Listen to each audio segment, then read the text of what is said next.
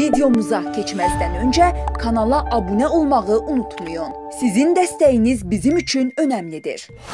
Ukrayna müdafiəçiləri Rus ordusunun Severodonetskə hücumlarını üç istiqamətdə dəf etməkdə davam edirlər.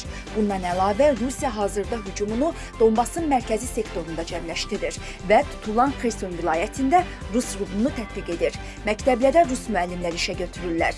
Telegraf.com xəbər verir ki, bu barədə Britaniya Müdafiə Nazirliyinin Baş Kəşfiyyat İdarəsi məlumat yayıb. Rusiya Severodonetskə üç istiqamətdə hücum etməyə cəhd etməkdə davam edir. Baxmayaraq ki, Ukrayna müdafiəsi onları dəf edir.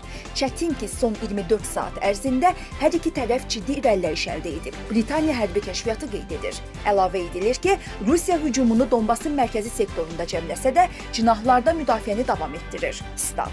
Ukrayna müdafiəçiləri son vaxtlar Xerson vilayətinin cənub-qərbində əks hücumlarda, o cümlədən İngulets çayının şərq sahilində mövqələrin bərpasında müəyyən uğurlar əldə ediblər. İşğal olunmuş zonanın cəbhəsi 500 kilometrdən çox uzandığı üçün həm Rusiya, həm də Ukrayna müdafiə xəttini dəstəkləmək, döyüşə hazır hissələrini hücum əməliyyatlarına cəlb etməkdə eyni problemlərlə üzləşirlər.